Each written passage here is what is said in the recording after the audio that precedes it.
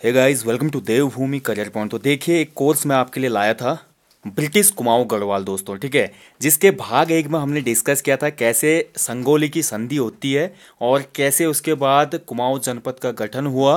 पहला कमिश्नर आता है ई गार्डनर लेकिन तब तक एक महत्वपूर्ण पॉइंट ये हमने डिस्कस किया था कि कुमाऊं जो जनपद था, या उसमें हम बोल सकते हैं कुमाऊं कमिश्नरी स्वतंत्र कमिश्नरी नहीं थी।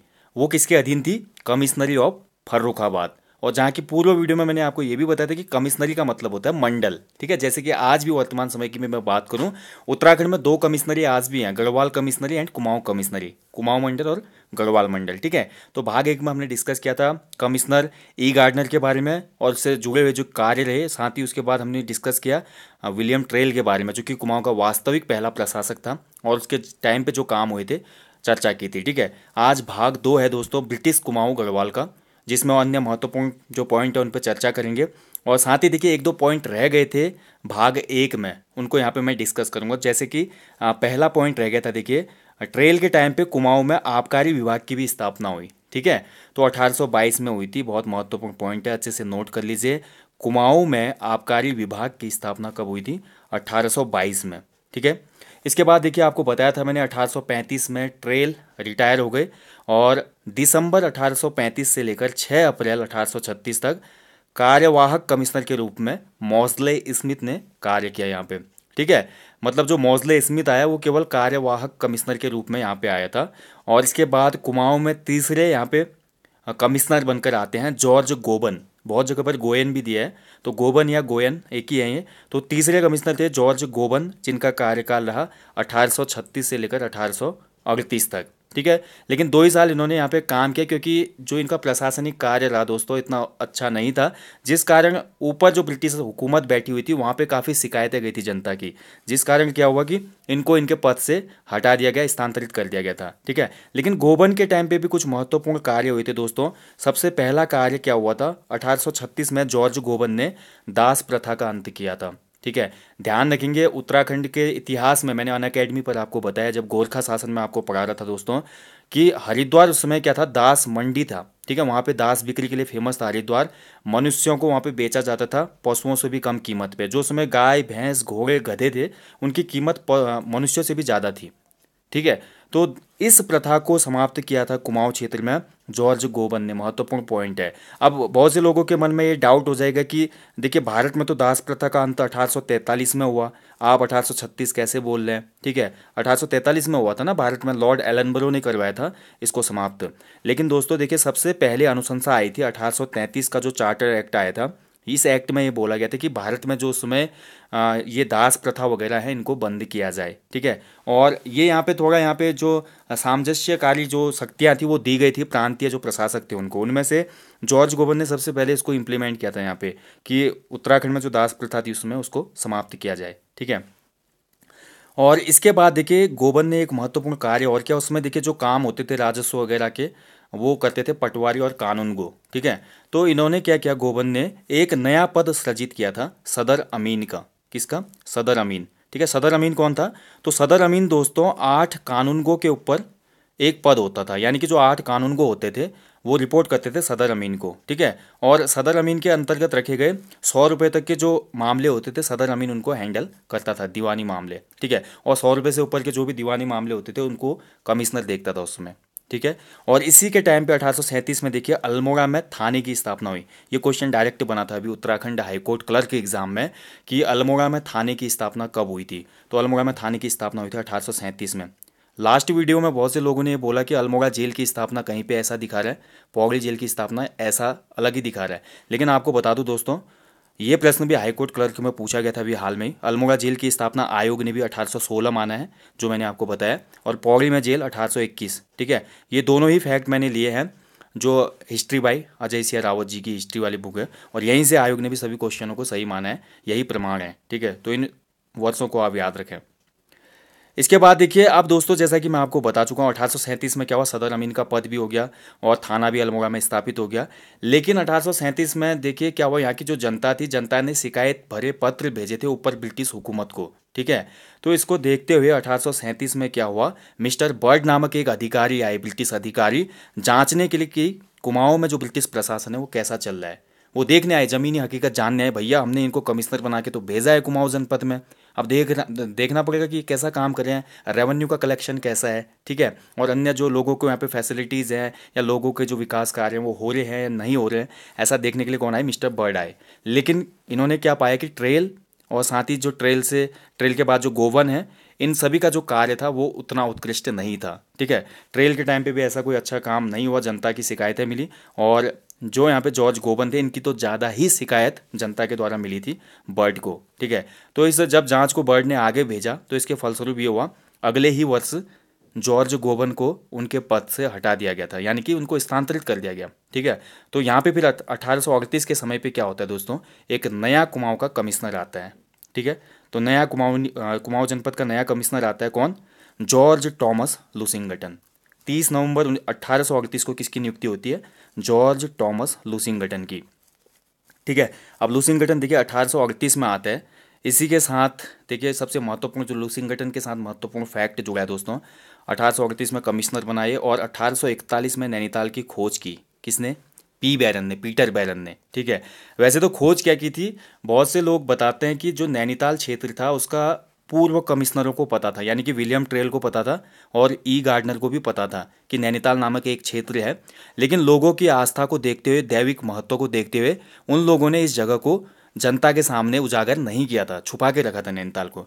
लेकिन पी बैरन आया, सहारनपुर का एक व्यापारी था, वो घूमते हुए आया वो, और नैनीताल उसको जैसे ही दिखाई दिया, वो अचंभित हो गया कि इतनी खूबसूरत जगह भी यहाँ पे हो सकती है। उसके बाद नैनीताल का जो समय थोकदार था नरसिया तो नरसिया से बोला जाता है कि वो झील में बैठा कर ले गया उसको अपने साथ नाव में और झील के बीच में उसने नरसिया के कनपट्टी पे तमंचा रखा था और बोला था कि साइन कर दे, जो नैनीताल का पूरा जो क्षेत्र है वो मेरे नाम कर दे या कंपनी के नाम जो भी वहाँ पर उस समय बनाया गया होगा, जो फॉर्मेट था उस पर ज़बरदस्ती साइन करवाए गए थे नरसिया के द्वारा। और पीटर बैरन ने अपने ऊपर ये श्रेय ले लिया कि नैनीताल की खोज की है मैंने 1841 में, ठीक है? तो ये पूरा तथ्य था दोस्तों, ठीक है? इतिहासकारों ने इसका उल्लेख भी किया है। तो इकतालीस में यहाँ पे खोज हो जाती है नैनीताल की। तो अब पता चल गया पूरी दुनिया के सामने आ गया क्योंकि पी बैरन ने भी अपनी पुस्तक में इस क्षेत्र का वर्णन कर दिया था। तो ब्रिटिश जो उपनिवेश थे उसमें या ब्रिटिश जो लोग थे, उनके लिए तो बहुत ही रोमांच का विषय बन गया ये। इतनी अच्छी जगह, क्योंकि आपको पता है ब्रिटिशर्स जो थे, यूरोपीय थे, उनको ठंडी जगह पर रहने की आदत थी। वो भारत के जो गर्म प्रदेश थे, तराई क्षेत्र थे, वहाँ पर परेशान होते थे। तो उनको एक हिल स्टेशन की आवश्यकता थी और नैनीताल उस पर आपको पता है, सोने पे सुहागा हो गया, ठीक है? तो नैनीताल का नगरीकरण शुरू करना शुरू हुआ लुसिंगटन के टाइम पे, ठीक है? तो बहुत महत्वपूर्ण पॉइंट है दोस्तों क्वेश्चन बन सकता है आगामी परीक्षा में। किस कमिश्नर के टाइम पे नैनीताल का नगरीकरण हुआ था? या किस कमिश्नर के टाइम पे नैनीताल में पालिका गठन प्रारंभ हुआ था? ठीक है? नैनीताल नगर नगर पालिका, उसके लिए भी एक अधिनियम आया था, उसकी कवायद शुरू हो गई थी लुसिंगटन के टाइम पे ठीक है? अठारह सौ तैंतालीस में। इसके बाद देखिए, एक महत्वपूर्ण पॉइंट और यहाँ पे मैंने लिखा है। आपको बताया मैंने अभी अठारह में अल्मोड़ा में थाना बना था पहला। वैसे ही नैनीताल में पहला थाना स्थापित हुआ अठारह में। कब हुआ? 1843 में। ठीक है? उसके साथ साथ देखिए, लुसिंगटन ने 1845 में क्या किया? खैरना और नैनीताल जो मार्ग है, यहाँ पर कार्य प्रारंभ करवाया। ठीक है? खैरना और नैनीताल को जोड़ने के लिए मार्ग प्रारंभ करवाया। ठीक है? ये भी एक महत्वपूर्ण काम था लुसिंगटन का। इसके बाद देखिए, इसने कुछ सोशल वर्क भी किए यहाँ पे और थोड़ा जो पब्लिक वेलफेयर बोल सकते हैं हम। मार्च अठारह में लुसिंगटन ने अल्मोड़ा में डिस्पेंसरी कमेटी गठित की डिस्पेंसरी कमेटी गठित की और इसके अंतर्गत अल्मोड़ा में एक औषधालय स्थापित किया गया। यानी कि औषधालय का मतलब हो गया यहाँ पे आपका एक फार्मेसी शॉप हो गई, ठीक है? तो एक शॉप की यहाँ पे स्थापना की गई और इसके साथ साथ अठारह सौ अड़तालीस में गोमती नदी, जो कि बागेश्वर जनपद में है, यहाँ पर एक पुल निर्मित किया गया लुसिंगटन के द्वारा, ठीक है? देखिए यूके ट्रिपल मैं ऐसे पॉइंट आपको क्यों देता हूँ? कई बार आप सोचते होंगे कि फैक्ट ज़्यादा देते हैं आप अपनी वीडियोज़ में और कॉन्सेप्ट कम समझाते हैं। देखिए यूके ट्रिपल एससी का आप एग्ज़ाम दे रहे हैं तो आपको फैक्ट याद करने होंगे। क्योंकि यूके ट्रिपल एससी का आप कोई भी पेपर उठा के देख लीजिए, वहाँ पर फैक्ट ज़्यादा पूछे जाते हैं, ठीक है कंपेरिजन टू कॉन्सेप्ट तो यहाँ पे सिंपली आ जाएगा क्वेश्चन अगले एग्ज़ाम में कि लुसिंगटन ने गोमती पुल को बनाया था, किस वर्ष ये कार्य हुआ था? तो अठारह सौ अड़तालीस में हुआ था ठीक है।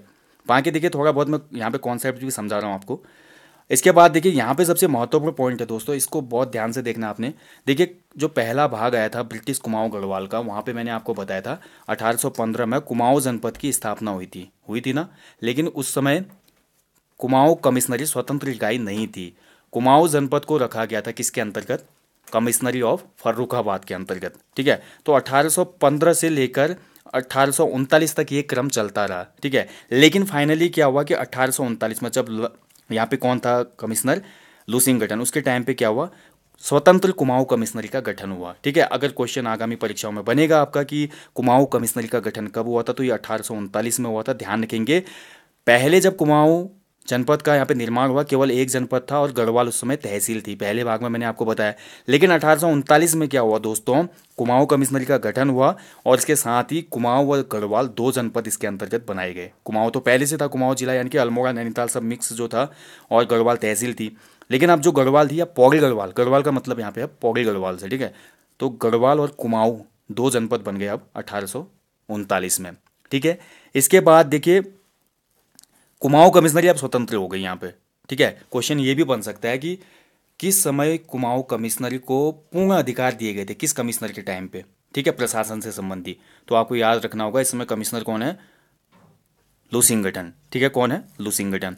इसके बाद देखिए 1842 में और हुआ जो तराई क्षेत्र था दोस्तों उस तराई क्षेत्र को मिलाकर एक तराई ज़िले का गठन हुआ और इसको भी कुमाऊं कमिश्नरी में शामिल कर दिया गया। यानी कि अब अठारह पहुँचते पहुँचते कुमाऊं कमिश्नरी के अंतर्गत कितने जनपद हो गए? तीन जनपद हो गए। एक अल्मोड़ा जनपद या कुमाऊं जनपद, दूसरा गढ़वाल जनपद और तीसरा यहाँ पे तराई जनपद। ठीक है? लेकिन अठारह सौ अड़तालीस में तराई जनपद को कुमाऊं कमिश्नरी से हटा दिया गया। ठीक है? ऐसा क्यों हुआ दोस्तों? क्योंकि देखिए कुमाऊं जो कमिश्नर था, कुमाऊं कमिश्नर ने अपने हाईकमान में शिकायत की, भैया, कुमाऊं क्षेत्र या कुमाऊं जनपद ही इतना बड़ा है, उसके साथ साथ मुझे गढ़वाल जनपद की रिस्पॉन्सिबिलिटी दी गई है, क्योंकि गढ़वाल जनपद में उसमें कमिश्नर नहीं बैठता था। कुमाऊं जनपद व गढ़वाल जनपद, इन दोनों के लिए केवल एक कमिश्नर था। हालाँकि गढ़वाल जनपद में एक डिप्टी कमिश्नर होता था, ठीक है? लेकिन जो राइट्स थे वो तो सभी मेन जो कमिश्नर था उसके पास थे ना। तो एक लुसिंगटन ने शिकायत की थी ऊपर हाईकमान में कि देखिए, वैसे ही दो जनपदों का कार्यभार बहुत ज़्यादा हो रहा है और ऊपर से आपने तराई को भी शामिल कर कर कुमाऊँ कमिश्नरी में डाल दिया है, जिससे वर्कलोड बहुत ज़्यादा बढ़ गया है। एक कमिश्नर इसको हैंडल नहीं कर सकता। या तो भैया आप कुछ नया यहाँ पे प्रशासनिक सुधार कीजिए या मैं रिज़ाइन करता हूँ, ऐसी शिकायत गई। तो इसको देखते हुए ब्रिटिशर्स ने क्या किया? अठारह में फिर से तराई को यहाँ से हटा दिया, ठीक है? फिर से कितने जनपद हो गए? कुमाऊं कमिश्नरी में केवल दो जनपद रह गए, ठीक है? अब नैनीताल जनपद जो बनेगा, वो बहुत आगे बनेगा। देखिए, मैं बाकी जितनी बातें आपकी, वो उत्तराखंड के प्रशासनिक इतिहास में आपको बताऊँगा कि कैसे उत्तराखंड में प्रशासनिक इतिहास हो यहाँ पे हम ब्रिटिश काल देख रहे हैं, ब्रिटिश प्रशासनिक व्यवस्था या ब्रिटिश कुमाऊं गढ़वाल देख रहे हैं, ठीक है? उसी के हिसाब से पॉइंट में डिस्कस कर रहा हूँ, ठीक है? तो ये हो गया अठारह का सीन यहीं पर क्या होता है? अठारह वर्ष में जो हमारा कमिश्नर है लॉ यहाँ पे लुसिंगटन ठीक है, वो उनको, वो अचानक क्या होता है सडनली उसकी डेथ हो जाती है 1848 में, ठीक है, अठारह सौ अड़तालीस में लुसिंगटन की मृत्यु हो जाती है, और इसके बाद जो नया कमिश्नर आता है, वो आता है बैटन मिस्टर बैटन आते हैं फिर, जिनके कार्यकाल को कुमाऊं का स्वर्णिम काल भी कहा जाता है, ठीक है तो बहुत मज़ा आएगा। आप जो नेक्स्ट पार्ट पढ़ेंगे उसमें हम कुमाऊं का स्वर्ण काल देखेंगे हम, ठीक है? अब यहाँ पे देखिए, हर वीडियो में मैं आपको ब्रिटिश जो हमारा कुमाऊं गढ़वाल चल रहा है, इसमें की पॉइंट दे रहा हूँ। तो की पॉइंट अभी बचे हुए हैं, अभी छोड़ना मत वीडियो आप, ठीक है? तो अगले टॉपिक में हम पढ़ेंगे बैटन के बारे में, यानी कि अठारह सौ अड़तालीस से लेकर अठारह सौ छप्पन तक। फिर छप्पन में आएगा कुमाऊँ का बेताज बादशाह हैंनरी रैमजे ठीक है? देखिए, यहाँ पे एक पॉइंट दिया है मैंने, गुमानी ने कमिश्नर लुसिंगटन की भूरी भूरी प्रशंसा की है। बोला जाता है कि कमिश्नर लुसिंगटन के जो प्रशासनिक कार्य थे, जनता में अच्छा खासा लोकप्रिय था वो। और एक समय दरबार लगा हुआ था और वहीं पे दरबार में छंद के माध्यम से जो कुमाऊं के प्राचीन कवि हैं, गुमानी पंत, इन्होंने तारीफ़ की थी लुसिंगटन की। ठीक है? उतना महत्वपूर्ण है एग्ज़ाम पॉइंट ऑफ़ व्यू से लेकिन यूके ट्रिपल एससी का कोई भरोसा नहीं। यूके पीएससी में तो ऐसे क्वेश्चन नहीं आएँगे। यूके पीएससी में थोड़ा लॉजिकल क्वेश्चन आते हैं। लेकिन यूके ट्रिपल एससी की गारंटी मैं नहीं दे सकता। वहाँ पे ऐसा भी क्वेश्चन बन सकता है कि कमिश्नर लूसिंगटन की किस कवि ने प्रशंसा की है? किस कुमाऊनी कवि ने? तो आपको पता होना चाहिए गुमानी पंत ने। अब देखिए की पॉइंट देखेंगे आज के टॉपिक के भाग दो में। भाग दो में जितने भी की पॉइंट है, जो एग्ज़ाम पॉइंट ऑफ़ व्यू से बहुत महत्वपूर्ण है यूके ट्रिपल एससी के एग्ज़ाम के लिए स्पेशली उनको डिस्कस करेंगे, ठीक है? देखिए, सबसे पहले जो कल का डाउट था आपका पिछली वीडियो का कि अल्मोड़ा जेल की स्थापना, पौड़ी जेल की स्थापना। डॉक्टर अजय सिंह रावत जी का जो उत्तराखंड का राजनीतिक इतिहास है, वहीं से आयोग ने प्रमाणिक माना है और अपनी आंसर की में भी सही माना है उसको, ठीक है? तो अल्मोड़ा जेल की स्थापना कब हुई? अठारह सौ सोलह में, पौड़ी जेल की स्थापना अठारह सौ इक्कीस में, ठीक है? तो यही है। इसके बाद देखिए, आप यहाँ के की पॉइंट देखते हैं। अल्मोड़ा में आबकारी विभाग की स्थापना कब हुई? जैसा कि मैं बता चुका हूँ, अठारह में हुई। इस समय कुमाऊँ का कमिश्नर कौन था? कुमाऊँ जनपद का, वो था ट्रेल। कौन था? ट्रेल, ठीक है? इसके बाद देखिए, अल्मोड़ा जेल की स्थापना कब हुई? अठारह सौ सोलह में हुई। अल्मोड़ा में थाने की स्थापना होती है अठारह सौ सैंतीस में, ठीक है? और दिव्य प्रथा की समाप्ति हुई अठारह सौ छत्तीस में। ये भी महत्वपूर्ण पॉइंट है दोस्तों, याद रखेंगे। देखिए जो हमारे गोबन थे, गोबन के टाइम पर ही दिव्य प्रथा की समाप्ति हुई। दिव्य प्रथा, आपको पता है ना, गोरखा शासकों ने जब यहाँ पे राज किया था कुमाऊं गढ़वाल क्षेत्र में तो उनकी न्यायिक व्यवस्था के अंतर्गत ये दिव्य प्रथा थी, जिसमें बहुत सी दिव्य प्रथाएँ रखी थी। जैसे कड़ाई द्वीप था, ठीक है, तराजू द्वीप था दंड देने की जो व्यवस्थाएँ थी गोरखाओं की, बहुत ही अत्याचार भरी, उनको बंद किया यहाँ पे अठारह सौ छत्तीस में। बन सकता है क्वेश्चन में। गोरखाओं द्वारा जो शुरू की गई थी दिव्य प्रथा, उसकी समाप्ति कुमाऊं में कब हुई थी? तो अठारह सौ छत्तीस में हुई थी। ठीक है, बाकी जितनी महत्वपूर्ण ये दिव्य प्रथा क्या थी डिटेल में अगर आपको जानना है तो अन अकेडमी पर जाइए और वहाँ पे एक कोर्स है, गोरखा शासन, उसको देखिए आप। इसके बाद देखिए यहाँ पे historical and political notes on Kumaon. ये पुस्तक किसकी है? ठीक है? तो historical and political notes on Kumaon ये लिखा है डी तिवारी ने। और यहाँ पे एक महत्वपूर्ण पॉइंट मैंने इसके साथ देखिए अटैच किया है। डी डी तिवारी ने देखिए, जो कमिश्नर रहे उस समय के, उन कमिश्नरों को अलग अलग उपाधियाँ दी हैं इस पुस्तक में। इस पुस्तक में डी डी तिवारी बोलते हैं ट्रेल को जालिम शासक। कमिश्नर गोबन को बोलते हैं निर्बुद्धि शासक। बैटन और बिकेट को बोलते हैं वो स्वार्थपरायण शासक। और हेनरी रैमजे को उन्होंने बोला है एकाधिपति शासक। ठीक है? तो ऐसे क्वेश्चन बनने की संभावना रहती है दोस्तों। देखिए क्वेश्चन बन सकता है कि पॉलिटिकल नोट्स ऑन कुमाऊ पुस्तक में डी डी तिवारी ने किस कमिश्नर को निर्बुद्धि कहा है? तो ये कमिश्नर गोबन है। ऐसे जालिम पूछ सकता है तो आपको ट्रेल याद होना चाहिए। एकाधिपति शासक बोला तो रैमजे याद होना चाहिए। ठीक है? अगला देखिए, काशीपुर के परगने, मुरादाबाद तथा तराई को रुहेलखंड में शामिल कब किया गया था? ठीक है? देखिए, तराई जिला में अभी आपको बता चुका हूँ, पृथक तराई जिला कब बना था? अठारह सौ बयालीस में बना था। उससे पहले जो तराई का क्षेत्र था, उसको अठारह सौ छत्तीस में रुहेलखंड में शामिल किया गया, जबकि काशीपुर के कुछ परगनों को मुरादाबाद में शामिल किया गया था। ठीक है? लेकिन अठारह सौ बयालीस में क्या हुआ? तराई जिला बन गया था, कुमाऊं कमिश्नरी में शामिल किया गया। लेकिन यहाँ के कमिश्नरों की शिकायत के बाद क्या हुआ? फिर से तराई ज़िले को पृथक कर दिया गया कुमाऊं कमिश्नरी से अठारह में, ठीक है? ये बहुत महत्वपूर्ण है कि स्वतंत्र कुमाऊं कमिश्नरी की स्थापना कब हुई थी? तो स्वतंत्र कुमाऊं कमिश्नरी की स्थापना हुई अठारह में। कुमाऊं जनपद जब स्थापित हुआ अठारह में, उस समय वो किसके अधीन था? कमिश्नरी ऑफ़ फर्रुखाबाद। फर्रुखाबाद वर्तमान यूपी में है, ठीक है? तराई ज़िले का गठन कब हुआ था? अठारह में। तराई ज़िले को यहाँ से पृथक कब किया गया? अठारह सौ अड़तालीस में। फिर और वापस आ जाएगा तराई जिला अभी जैसे हम आगे बढ़ेंगे, ठीक है? तो वेट कीजिएगा नेक्स्ट पार्ट का। लास्ट पॉइंट है, देखिए, की पॉइंट, कमिश्नर लुसिंगटन का निधन कब हुआ? तो कमिश्नर लुसिंगटन का निधन हुआ अठारह में। कार्यकाल के दौरान इसकी मृत्यु हो गई।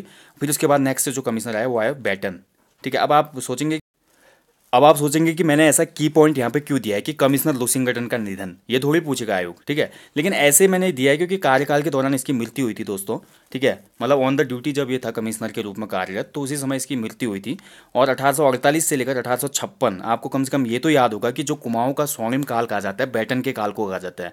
तो कभी कभी UK triple S C base पे क्वेश्चन बना लेता है। कि कुमाऊं का स्वर्णिम काल जो है, उसका टाइम पीरियड क्या था बैटन का? तो अठारह सौ अड़तालीस में आपको याद आ जाएगा कि लुसिंगटन की मृत्यु हुई थी। इस हिसाब से बैटन अठारह सौ अड़तालीस में आकर उसने वहाँ पे पद ग्रहण किया होगा, ठीक है? तो ऐसे पॉइंट बहुत ज़्यादा काम आते हैं जब आप एग्ज़ाम हॉल में होते हैं दोस्तों, ठीक है? तो ये था आज British Kumaon Garhwal part two और जल्दी ही इसका नेक्स्ट पार्ट आएगा दोस्तों। ये टॉपिक आपको कितना समझ में आ रहा है, अपना फीडबैक ज़रूर दें। साथ ही देखिए, अगर आपकी कोई डाउट है क्वेरी है, जैसे लास्ट वीडियो में काफ़ी लोगों ने डाउट किया था कि अल्मोड़ा जेल अलग अलग यहाँ पे वर्ष दिखा रहे हैं अलग अलग पुस्तकों में। लेकिन आयोग भी तो एक ही पुस्तक फॉलो करता होगा ना दोस्तों? क्योंकि कुमाऊं के इतिहास में अगर मैं देखूँ बद्रीदत्त पांडे जी की जो बुक है, उसमें कुछ पॉइंट अलग हैं, लेकिन जो अजय सिंह रावत जी वाली पुस्तक है, उसमें कुछ पॉइंट अलग हैं। लेकिन आयोग ने अभी जो लास्ट आंसर की आई थी हाईकोर्ट क्लर्क वाली, वहाँ पे जितने भी क्वेश्चन ये ब्रिटिश कुमाऊं अग्रवाल से पूछे गए थे, उनका प्रमाणिक उत्तर माना है डॉक्टर अजय सिंह रावत जी की बुक से, ठीक है? तो उसी पर मैं चल रहा हूँ आगे। और साथ ही देखिए, फिर भी जो भी महत्वपूर्ण पॉइंट होंगे, जहाँ पे मेरे को भी लगेगा, इनमें डाउट है। तो मैं किसी और तीसरी पुस्तक से वो पॉइंट कलेक्ट करने की कोशिश करूँगा। तो आप निश्चिंत रहें और साथ ही देखिए, ज़्यादा से ज़्यादा शेयर करें। इस टॉपिक को काफ़ी महत्वपूर्ण है और जितने भी अन्य टॉपिक चल रहे हैं चैनल पर वो जल्दी आपको मिलते रहेंगे। और साथ ही देखिए फॉरेस्ट गार्ड टेस्ट सीरीज़ आपके लिए बन रही है। उसको अभी जल्दी मैं आपको बता दूँगा अनाउंस कर दूँगा कि कब तक आपको मिल जाएगी। मॉडल पेपर जल्दी शुरू होंगे।